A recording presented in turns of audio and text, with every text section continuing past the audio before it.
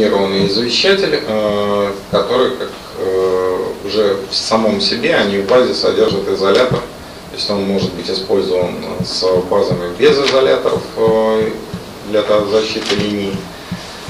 Его отличает опять-таки дизайн и он пластик у него абсолютно белого цвета, может быть использован тех помещениях, где, опять-таки, высокие требования в плане э, дизайна и э, чтобы извещатели не выделялись да, на фоне потолков.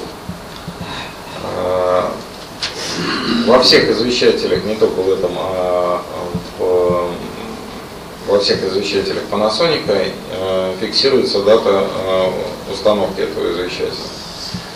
И э, по прохождении 8 и 25 лет э, прямо на контрольную панель она получает сигнал от извещателя о том, что э, срок его эксплуатации достаточно большой, его нужно либо перепроверить э, дополнительный раз, э, либо, соответственно, заменить.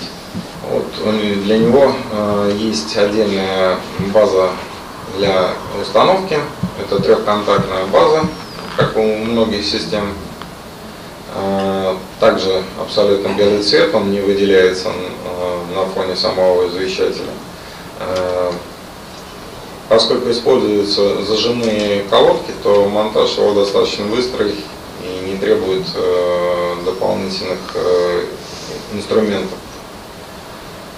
Есть отдельный разъем для подключения дополнительного шлейфа питания это может быть использовано, допустим, для внешнего индикатора.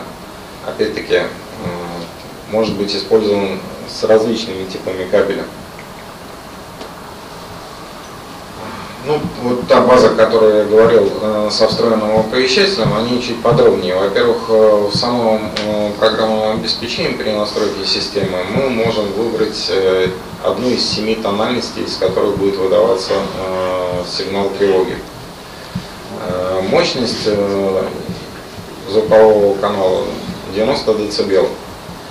Есть э, режим пониженной мощности, э, если, допустим, у нас линия достаточно большая и много устройств в шлейфе, для того, чтобы сэкономить энергетический бюджет по шлейфу, мы можем снизить мощность до 84 дБ, при этом у нас потребление упадет до полутора миллиампер.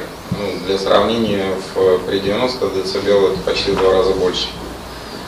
А, поэтому э, тут э, все зависит от того, позволяет ли нам место установки и помещений, которые охватывают данным звуковым оповещателем, э, снизить такую излучательную мощность.